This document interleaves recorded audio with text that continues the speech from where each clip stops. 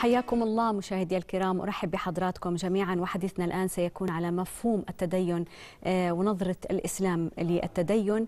سنتحدث مشاهدي الكرام آه، على انه الدين آه، كما يعني نعلم جميعا ونقر بأنه هو الاستسلام لله تعالى وهو الرسالة الذي بعث بها محمد صلى الله عليه وسلم.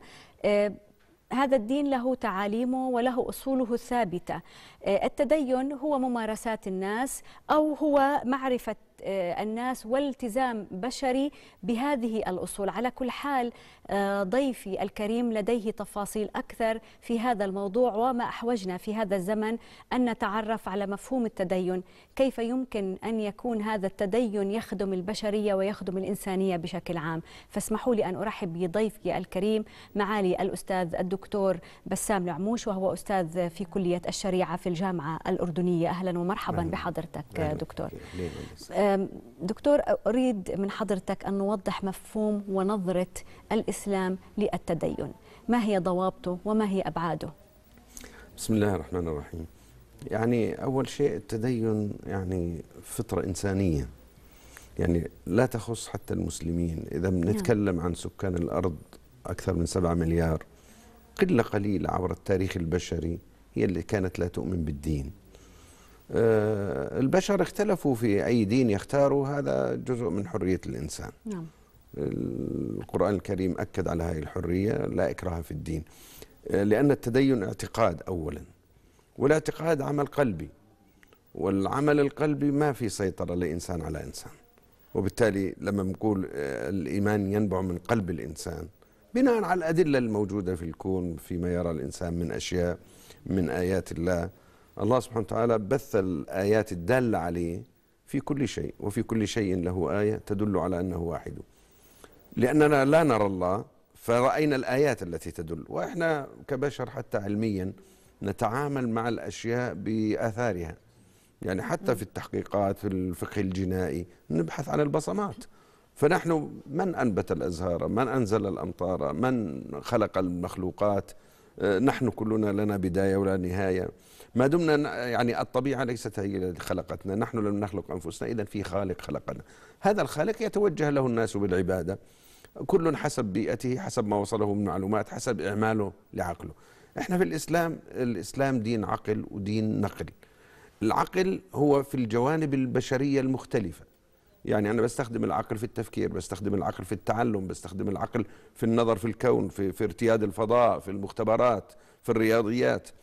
بستخدم العقل في التأكد أنه هذا نبي أو غير نبي بستخدم العقل في التأكد من إعجاز القرآن. هاي كلها أدلة إعجازية.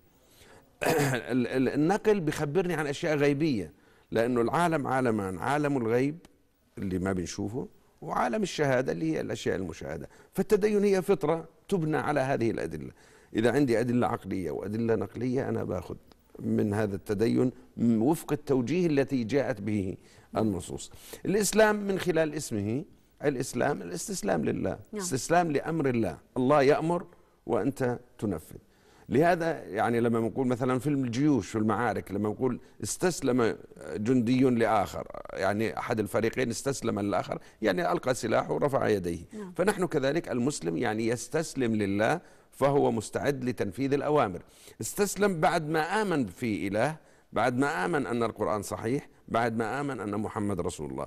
نحن في ديننا نؤمن بكل أنبياء الله. نحن عندنا كتاب واحد. نحن عندنا وضوح. في تديننا.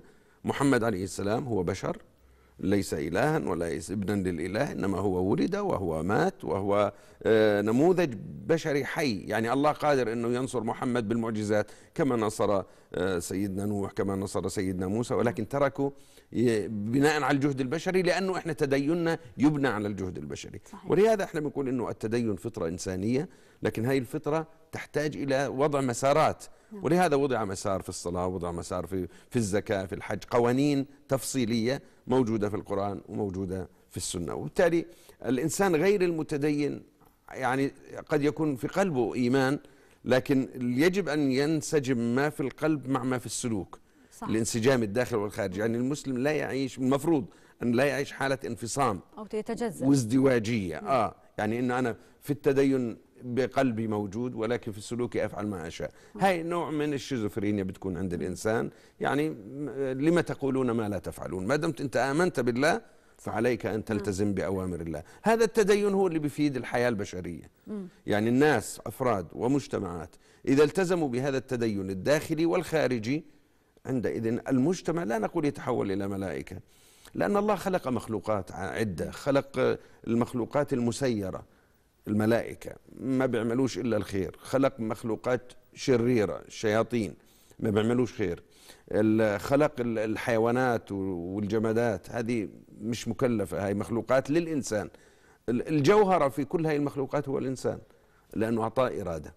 فقال وهديناه النجدين يعني وجدنا أوجدنا له طريق الحق والباطل فهي واضحة إن الحلال بين وإن الحرام بين. فهو, فهو يختار ما يريد سواء كان هنا أو هنا ويحاسب على الاختيار. لا يحاسب الإنسان في الإسلام إلا بناء على المساحة التي له فيها اختيار. يعني إحنا في أشياء إحنا مجبرين عليها.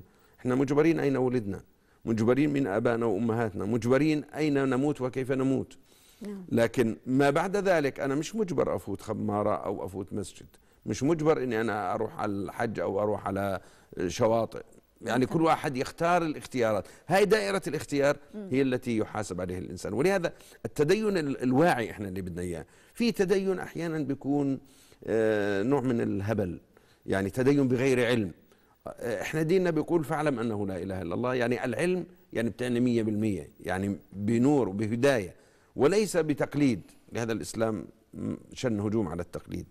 أولو كان آباؤهم لا يعقلون شيئا ولا يهتدون لأنه قال لهم لما تعبدون الأصنام؟ قال وجدنا, وجدنا آباءنا. فالتدين بده يكون بناء على علم حتى تدين المسلم في مسلمين كثر يتدين بيشوف الناس بيعملوا شيء بيعمل زيهم. الرسول عليه السلام بيقول لا يكن أحدكم إمعة يقول إن أحسن الناس أحسنت وإن أساءوا أسأت ولكن وطنوا أنفسكم. إن أحسن الناس أحسن وإن أساء الناس فأمسك. ولهذا إحنا من دعاة التدين الواعي التدين العلمي التدين الإيجابي التدين الذي ينظر للحياة بطيبة وينظر للناس أنهم أخوة إنسانية هم نعم. بحاجة إلى التدين الصحيح. نعم. يعني كمان هناك معلومات خاطئة بيقول لك آه تدين باعتدال. هلا لا يوجد اعتدال. أصلا هو الإسلام لم يأتي لا بغلو ولا بالتطرف الإسلام دائما كان معتدلا. آه نعم. هلا بعباداتك لا يعني أن تكون معتدلا. كلمة اعتدال لا تنسحب على موضوع التدين الإسلامي بشكل عام. موضوع التطرف كمان موضوع التطرف هذا لا يعني قد تكون يعني الجهات أو العصابات أو خوارج العصر كما سماها جلالة الملك آه، لبست قناع الإسلام. هذا لا يعني بأنه يجب أن ندافع عن الإسلام لأنه العاقل يعرف بأن الإسلام ليس من أسس لمثل هؤلاء الخوارج. الإسلام هو بعيد عن كل هذا التطرف والغلو وحتى في مفهوم التدين وأبعاده وضوابطه لا يوجد آه، ما يسمى باعتدال لأنه ما في أصلا تطرف في التدين. هو شوفي إحنا بنفرق بين الإسلام والمسلمين. الإسلام هو النموذج الراقي هو الثريا العالية هو الإضاءة الطيبة. المسلم بدرجات قد يقترب من هذا النموذج وقد يبتعد وقد يقصر لأنه كل واحد حسب بيئته حسب ما تلقى من علم حسب ما تلقى من توجيه. حتى في أيام الرسول عليه السلام بعض الناس جاءوا لبيت الرسول عليه السلام فسألوا عن عبادة الرسول. كيف يعني عبادته؟ قديش بصوم؟ قديش بيصلي في الليل؟ قديش بيسبح مثلا. فجاوبوهم آه، أهل البيت. فبعضهم قال يعني وجدوها قليلة الرسول بيصليش كثير الرسول ما بيصومش كثير مثلا. آه يعني مش كل ليلة صلاة ومش آه يعني آه. هذا الاعتدال اللي بنحكي عنه. فكأنهم تقالوها يعني وجدوها قليلة. فقالوا هذا رسول الله يعني مع الله يعني مسامحه. أو حاجز آه يعني, لا هذا رسول الله حبيب الله. أما إحنا لا. شوف بدهم يزيدوا على الرسول. فقال أحدهم أنا أصلي الليل أبدا ولا أرقد. وقال الثاني أنا أصوم الدهر أبدا ولا أفطر.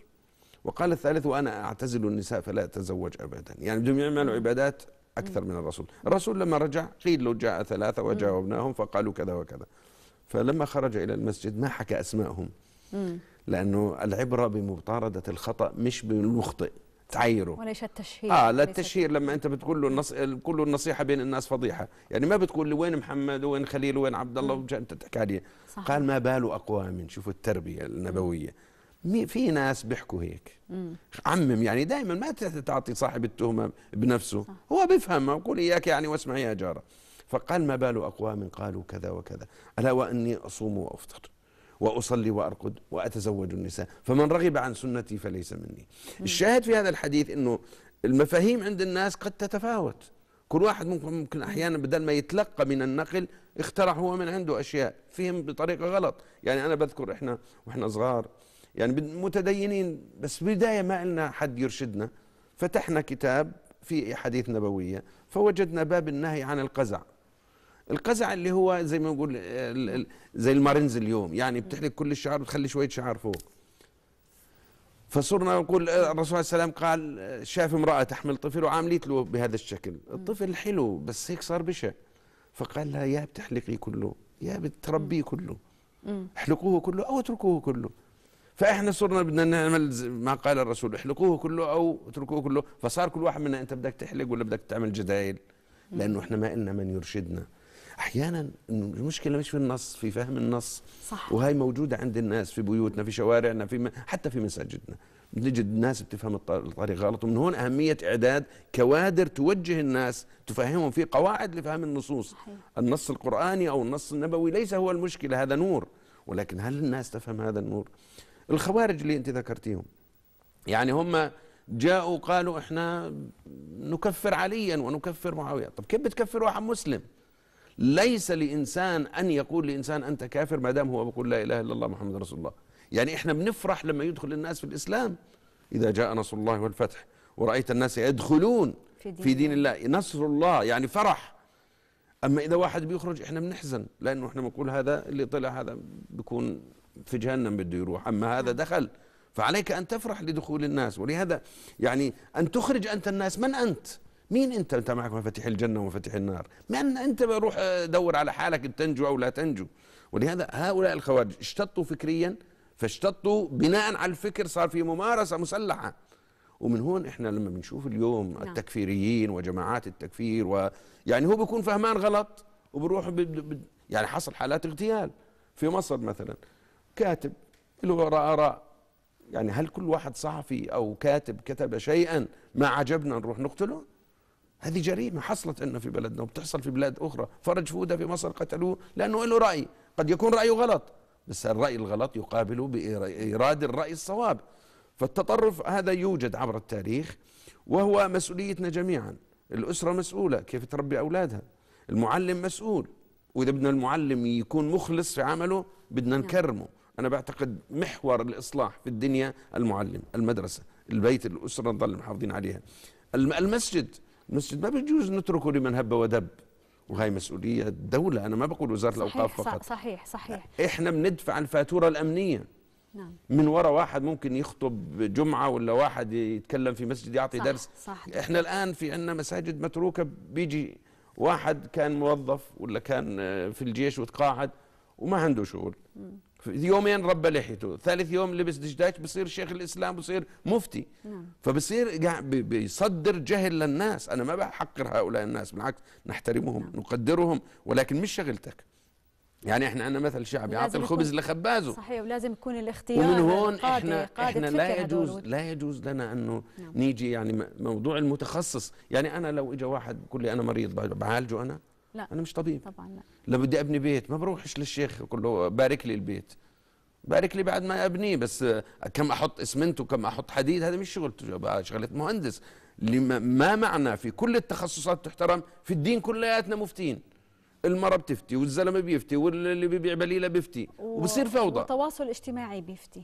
التواصل. هذا هذا باب هذا فتح علينا ليس نعم. له نعم. نهاية. صحيح. وأنا بحذر اللي بيكتبوا أنه لا تفكر كما في الإسلام التدين. أنك مسؤول عن لسانك شو بيحكي أنت مسؤول عن أصابعك شو بتكتب. صحيح. إذا بتكتب أشياء وهي أشياء مرات بصير من وراها جرائم. وفتن. وأسر وبتنهدم وبصير طلاق وبصير قتل وبصير يعني عذابات بنعيشها من وراء كلمة. طب سميته تواصل اجتماعي. قاعد بصير من وراء تقاطع اجتماعي.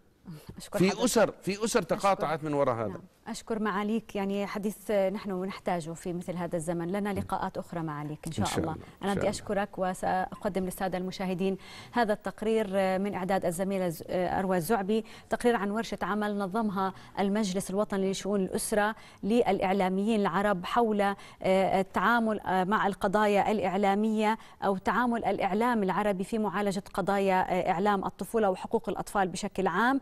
المجلس الوطني أقام بالشراكة مع منظمة اليونيسف والمجلس العربي للطفولة والتنمية وبرنامج الخليج العربي للتنمية وجامعة الدول العربية. إعلام صديق للطفولة.